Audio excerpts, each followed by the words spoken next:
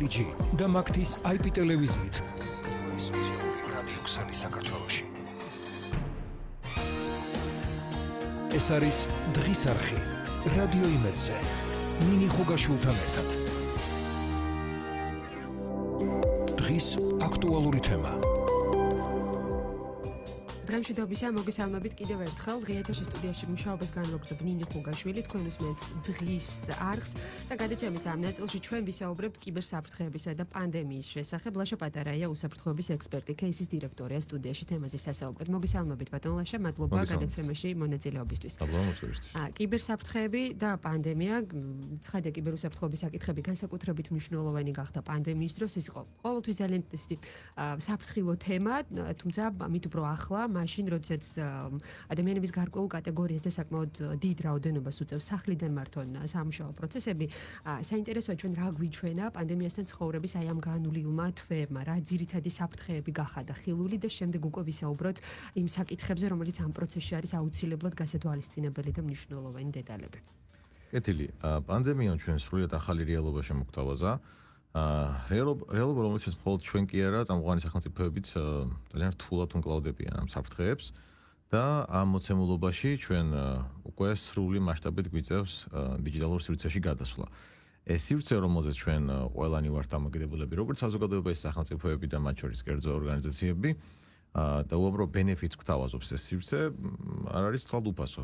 მას გააჩნია რიგი საფრთხეები, ეს ის საფრთხეებია, რომლის აფასურადაც ვიღებთ ყველა იმ ბენეფიტს და კომფორტს. შესაბამისად, ამ საფრთხეებს ჭირდება იდენტიფიცირება, ჭირდება მუშაობა, იმიტომ რომ გადასვლა ეგრეთ წოდებული paperwork-დან დიჯიტალურ გზაზე მოიცავს ახალ საფრთხეებს და ინფორმაციის, ასე ვთქვათ, დიჯიტალიზაციას, კომუნიკაციის დიჯიტალიზაციას, რომელიც აქამდე ესეთი მასშტაბით არ ხდებოდა, უკავშირდება ძალიან ბევრ ახალ გამოწვევას. ამ ნაწილში არსებობს უამრავი რეკომენდაცია მიუხედავად იმისა, რომ პანდემია ახალია, დისტანციაზე მუშაობის, ასე ვთქვათ, პრინციპი არ არის ახალი, უამრავი ორგანიზაცია აქამდე მუშაობდა ონლაინ პრინციპით. უმრავი პოლიტიკა მასშტაბი განსხვავებულია, კი, საფრთხები ცირედით მატულობს იმ ნაწილში, რომ შეიძლება ბიზნეს უწყობობა დაირღოს ორგანიზაციების, მაგრამ მთლიანობაში პოლიტიკები, პროცედურები ყველაფერი ადგილზე არსებობს იმისთვის, რომ ორგანიზაციები გადავიდნენ უსაფრთხო და გაუკლავდნენ ყველა იმ გამოწვევას, რაც ამ სივრცეში არსებობს. კონკრეტული რა ტიპის საფრთხეები შეიძლება გამოვყოთ ჩვენ აქედან როდესაც საუბრობთ მე მისმის რომ პროფესიონალებისთვის, სპეციალისტებისთვის ყველა საფრთხის იდენტიფიცირება არის მარტივი, თუმცა ჩვენთვის რიგითი მომხმარებლებისთვის რა არის ის ძირითადი საფრთხეები, რასაც რაც უნდა გავითვალისწინოთ ჩვენ ამ პროცესში, რომ შემდგომ უკვე რაღაცნაირად თავდაცვის მექანიზმებიც გავააქტიუროთ. ნუ აქ უნდა გაიმიჯნოს პირველ რიგში ჩვენ რაზე ვსაუბრობთ? თუ ვსაუბრობთ ინდივიდებზე, ფიზიკურ პირებზე, რომლებიც აგრძელებენ ისევე როგორც აქამდე, აქ რჩება ტრადიციული საფრთხეები, იმიტომ რომ კიბერსივრცე კიდევ უფრო ნოყიერი და ასე თქვათ მიმზიდველი სამიზნე გახდა კრიმინალებისთვის, მაშინ როცა ყველა ონლაინ მასშტაბზე გადასული, მაგრამ მეორე ნაწილი არის თანამშრომელთა ის სეგმენტი, რომლებიც იზოლირებულები არიან სახლიდან იმუშაონ და ეს უკვე არის საფრთხე არა მხოლოდ ამ ადამიანებისთვის და მათი ორგანიზაციებისთვის, ასევე შეიძლება ეს იყოს საფრთხე მესამე პირებისთვის. მაგალითად, თუ საუბარია ჰოსპიტალურ სფეროზე ან ისეთ სფეროზე, სადაც ინახება მონაცემები და მუშაობა მონაცემები მომხმარებლებზე და ასეთი ბევრია დღეს, მაგალითად call center-ები, მომსახურების სერვისი. ამ შემთხვევაში საფრთხე იქნება არა მარტო ორგანიზაციასა და თანამშრომელს შორის, არამედ მათ შორის მესამე პირზე, რომელზეც მუშაობდება ეს მონაცემები. საინტერესოა ჩვენ რა დავინახეთ, რამდენი დაცნობიერებენ თავად არ მხოლოდ მსხვილი კომპანიები, დამსაქმებლები ზოგადად ამ საფრთხეებს, ამ პროცესს და რამდენი უზრუნველყოფილი იყოს დროულად ამ უსაფრთხოების სისტემების, ასე ვთქვათ, გამართულობა უზრუნველყოფილი. ჩვენ უამრავი შემთხვევა ვიცით უკვე საქართველოს მასშტაბით, რომელიც უკავშირდება ბიზნეს უწყებობის დარღვევას, ანუ ის, რომ ორგანიზაციები ვეღარ ახერხებენ ასე თქვა სრულ მასშტაბიან ფუნქციონირებას, მიუხედავად იმისა, რომ მათში არც ქონდა თქმა ფიზიკური ინტერაქციის მძაფრი საჭიროება, თუმცა საფრთხეები ძალიან გაიზარდა, ხდება არაერთი ინციდენტი ინფორმაციის მითვისების, არამარტო მიერიგზით მოპოვების, ეგრეთ წოდებული ჰაკინგის, კიბერდანაშაულის და ამის ძალიან ბევრი ხელშემწყობი ფაქტორი არსებობს, როდესაც ადამიანი აგრძელებს მუშაობას იგივე ინფორმაციაზე სახლის პირობებში, აქ არის უკვე ნაკლები კონტროლი და უცველია მისი ქსელი ხშირ შემთხვევაში აქ უკვე ყველა ის საფრთხე რაც ადრე ეხებოდა მხოლოდ ფიზიკურ პირებს, ეს უკვე ვრცელდება მთლიანად ორგანიზაციის მასშტაბით, იმიტომ რომ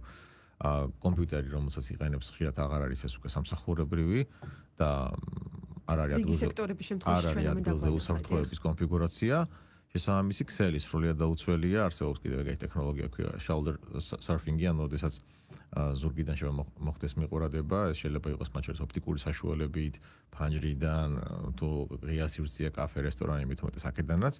უამრავი ტექნოლოგია არსებობს, რომელიც ხელს აძლევს კიბერკრიმინალს ეხლა დაუმიზნოს ორგანიზაციებს, რომლებიც ადრე ნაკლებად იყო ხელმისაწვდომი, საერთოდ კიბერკრიმინალში, ჰაკინგში მთავარი საინტერესო რაც არის, ეს არის მოწყვლადობის პოვნა და თუ ადრე ორგანიზაცია იყო უფრო დაცული, ჩაკეტილი, დღეს ეს მოწყვლადობები გაიზარდა, იმიტომ რომ როგორც კი თანამშრომლები გავიდნენ ამ სექტორიდან, ამ ამ სივრციდან და მათ დისტანციურად დაიწყეს მუშაობა, შეიქმნა ახალი ფანჯარა, ახალი საინტერესო მოწყვლადობებით, რომლებიც კრიმინალებს ხელს აძლევთ. ეს არის უკვე სახლის პირობებში უფრო ადვილია ყოველთვის შეღწევა ვიდრე ორგანიზაციის შემთხვევაში.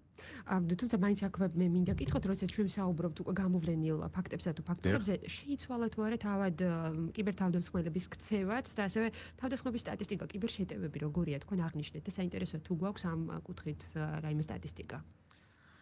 კეთილი, რა შეიძლება სტატისტიკა? საქართველოს საერთოდ კრიმინალთან დაკავშირებული სტატისტიკა ყოველთვის არის არაკორექტული, არაზუსტი. რიგი მიზეზების გამო, რასაც ახლა არ გრის ამაზე შეღრმავება.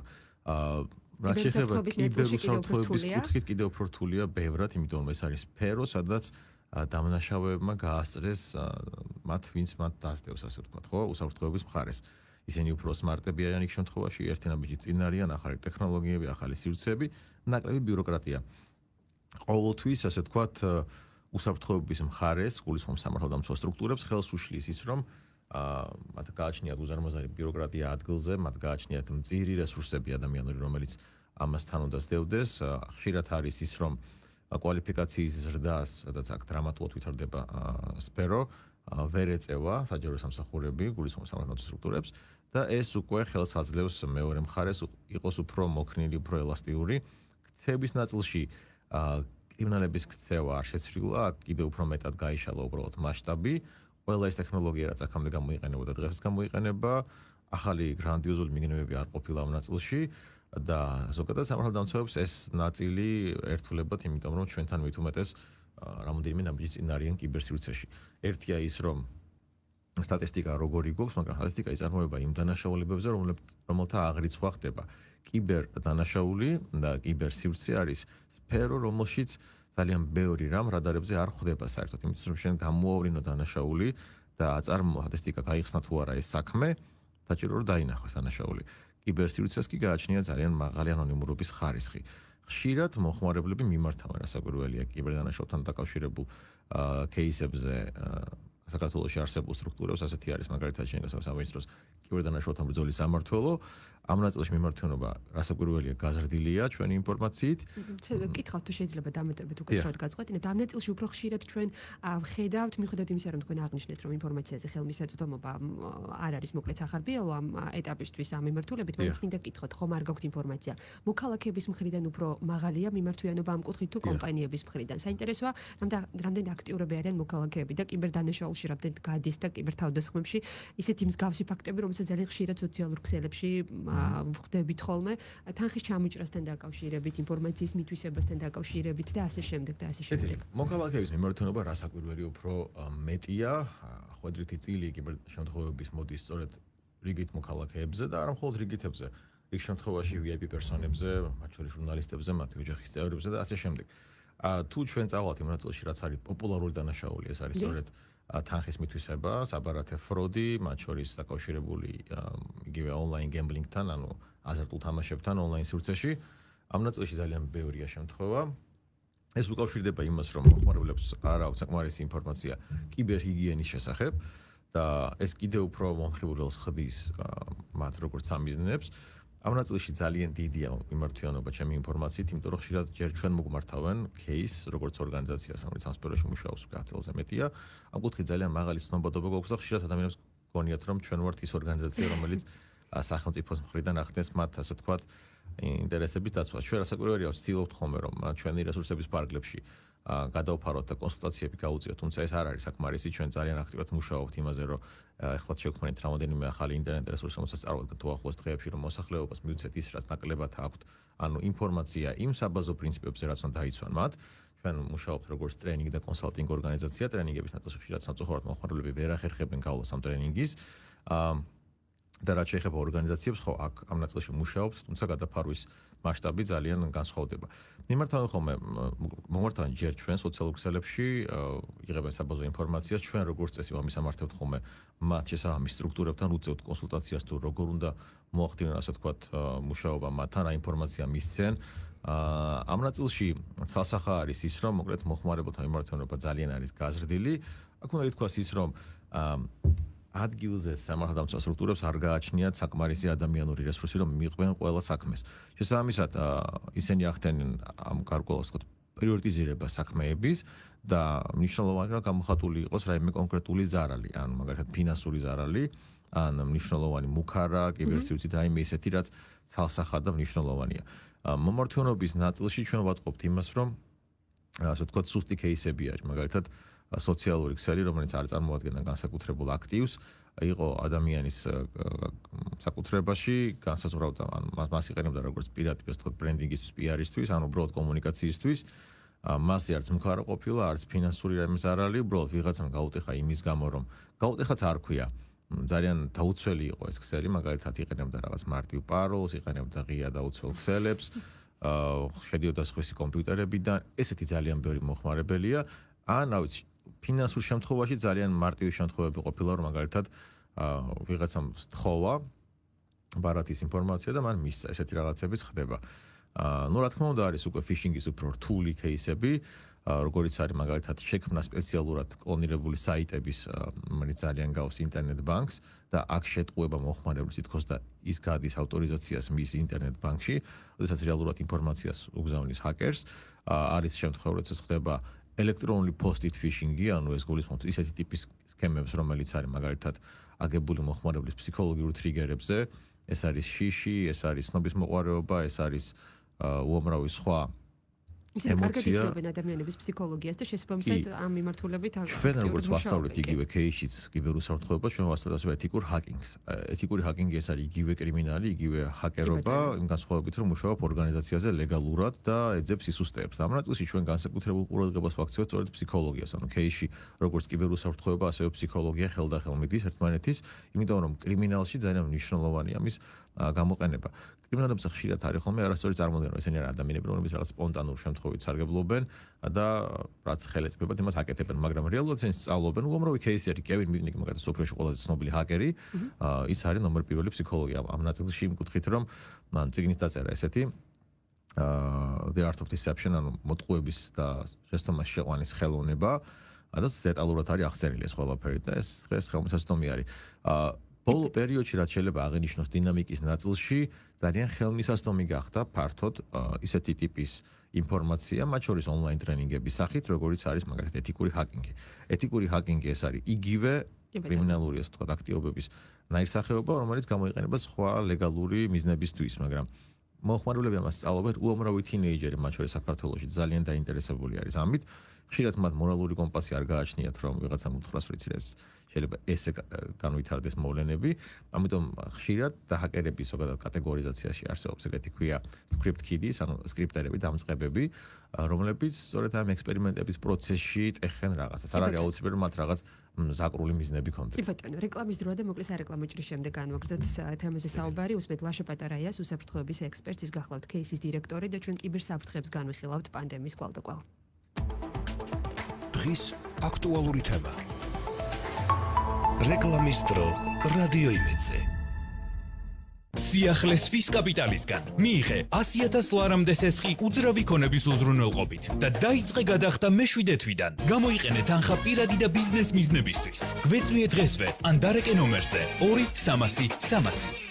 Tegeta Motors-ი 25 წლისაა. მიიღე 25%-იანი кэშბექი პროდუქციასა და სერვისზე. მხოლოდ 3 დღით, 25, 26 და 27 სექტემბერს. შეიძინე საბურავი, აკუმულატორი, ძრავიზეთიან ნებისმიერი ავტოსათადარიგო ნაწილი და დაიბრუნე გადახდილი თანხის 25% Tegeta-ზე. 0 32 2 26 44 44 ეკოვუდი ხის მასალების ნომერ პირველი იმპორტიორი საქართველოში. ტელეფონი 571 20 40 40. ვებგვერდი ecovud.gr.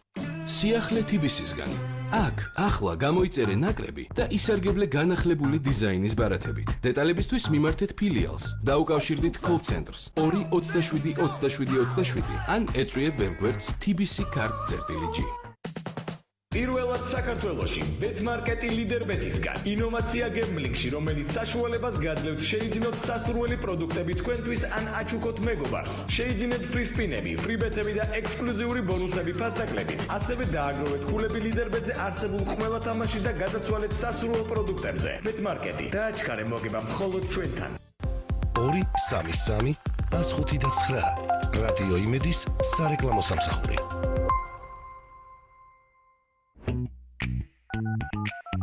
გაიგეთ ვინ გირეკავთ. მობილური ნომრების ბაზა nomrebi.com nomrebi.com რადიო იმედის პარტნიორი სოციალურ ქსელებში. nomrebi.com დღის აქტუალური თემა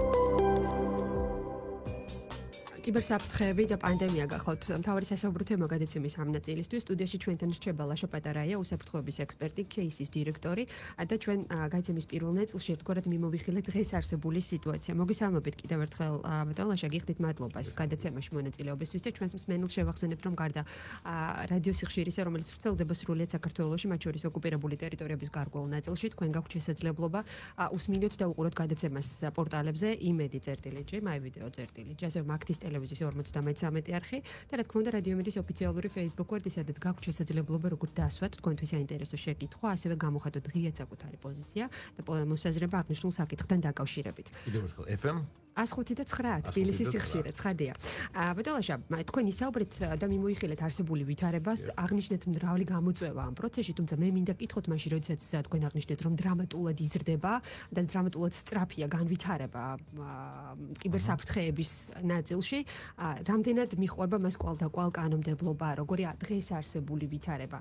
ერთია თქვენ აღნიშნეთ, რომ ნაკლებად ვიცნობთ რეალურად სტატისტიკას, თუნდაც იქიდან გამომდინარე, რომ ფაქტების შესახებ ხშირად არ გვაქვს ინფორმაცია ინფორმაცია, ან არ ვიცით რამდენად მიმართავს ყველა მოქალაქე, რომელიც შეიძლება გაიყოს ამ ტიპის თქვათ საფრთხეში. შესაბამისად ის რესურსი, რომელიც გვაქვს კანონმდებლობის სახით, რამდენად არის გამართული, რამდენად მიხვება თანამედროვე სტანდარტებს? ედილი. აა 10 წლის წინ, როდესაც გადავწყვიტე რომ დამეწყო კიბერუსაფრთხოებაზე მუშაობა, ძალიან ბევრი ამას ისეთი სარკაზმით უყურებდა, იმიტომ რომ ეს იყო თითქმის პერიოდი, როდესაც რა ვიცი, ბევრი მაცივისგან ვერ არჩევდა კომპიუტერს და კიბერცირზე არაფერი არ თქმულა მაშინ. პირველი რაც გავაკეთეთ იყო ის რომ ნუ პირველი სახელმწიფო დაუწერეთ კიბერუსაფრთხოების სფეროში, მაგრამ თავარი აქ იყო იდენტიფიცირებული სწორედ საკანონმდებლო ნიუანსები და ხარვეზები. ამ ნაწილში დიდათ არაფერი გქონდა, ეს იყო სივრცე, სადაც იყო კოპირებული რუსული ასე თქვა როგორც ხდება ხოლმე რუსული ბაზა სამართლებრივი. დაიხვეწა რაც თავარი რასაც ვთვლი რომ მიღწევა არის ჩვენი მხრიდან არის სიტყვა კიბერი შემოვიდა ადრე ერქვა EGM-ის წინააღმდეგ ჩადენილი დანაშაული, რაღაც ძველი რიტორიკა იყო. აა შეიქმნა კანონმდებლობა, დაიხვეწა უფრო სწორად, მაგრამ ამ ნაწილში ძალიან ბევრი ფანჯარა რჩება აუთვისებელი. ერთ-ერთი მთავარი კიბერსივრცეს რაც შეეხება და მას თქვა ყალდაკვალ მიყვება ამ სფეროს, ეს არის ინტელექტუალური საკუთრების დაცვის ნაწილი, მათ შორის კიბერსივრცეში. ეს არის სრულიად ასე თქვა აუთვისებელი სივრცე. სრულიად მიტოვებული ამ ნაწილში ძალიან ბევრი რამ ხდება რაც ხელს უშლის ძალიან ბევრ არ კომპანიას ამ ბაზარზე ოპერირების და რიგ შემთხვევაში უამრავი ბრენდი უბრალოდ არც ხრთავს მის ბაზარზე ტექნოლოგიების ნაწილში.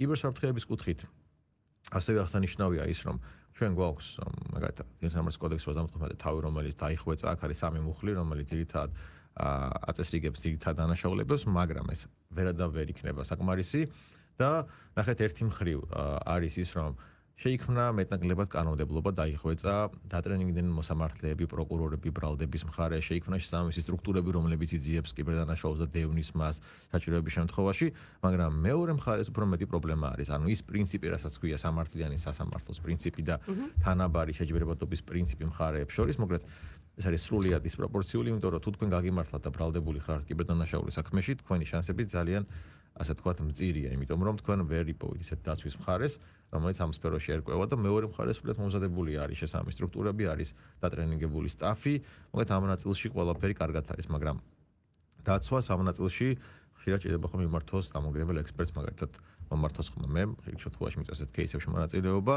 ძალიან დიდი აუთვისებელი სივრცე არის ამ ნაწილშიც.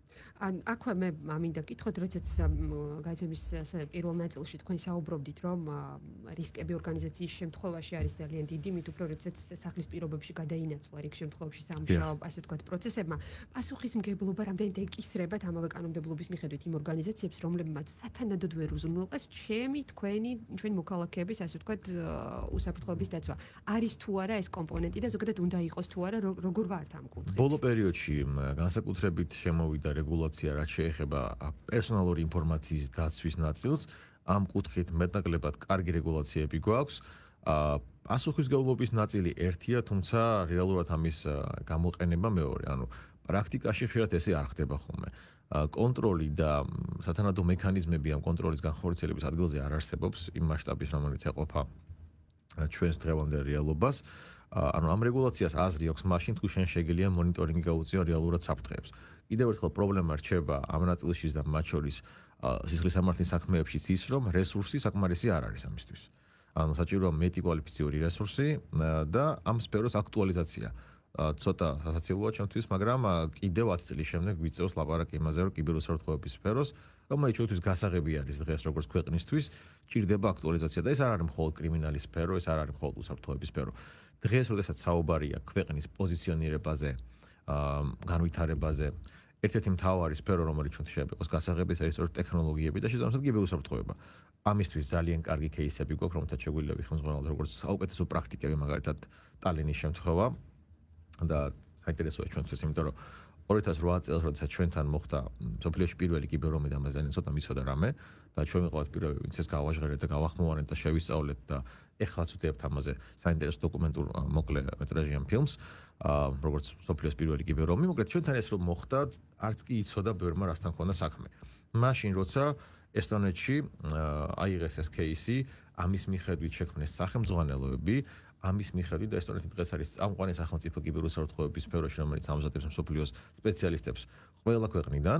დღეს იმ მოვლენების შემდეგ საქართველოს кейსი, რაც მოხდა რუსეთთან ომის დროს, არის სახელმძღვანელოს ნაწილი ერთის ამზადებენ მსოფლიოს კიბერუსაფრთხოების სპეციალისტებს.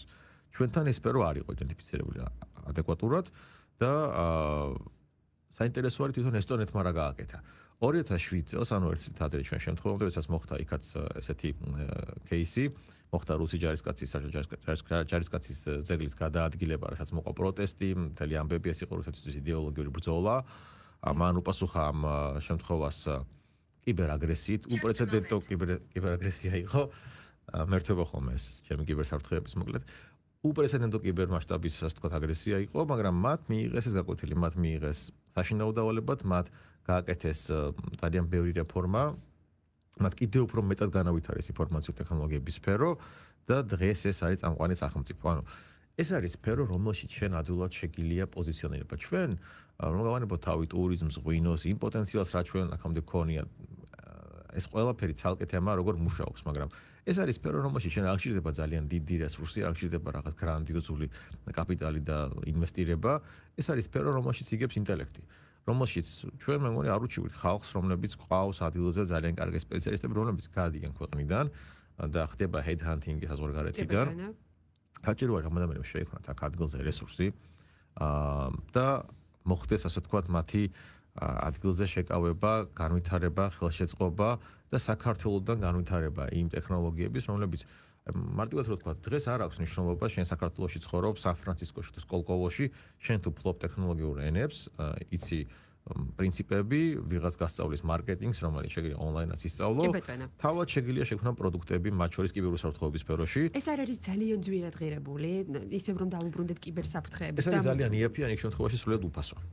მართლა ჩვენში გავრცელებულია რომ როგორც თქვა მომსახურება შესაბამისი სპეციალისტის ასევე შესაბამისი სისტემების ამოქმედება არის ძალიან ძვირად ღირებული და კომპანიებს კი ბატონო კარიერას კი.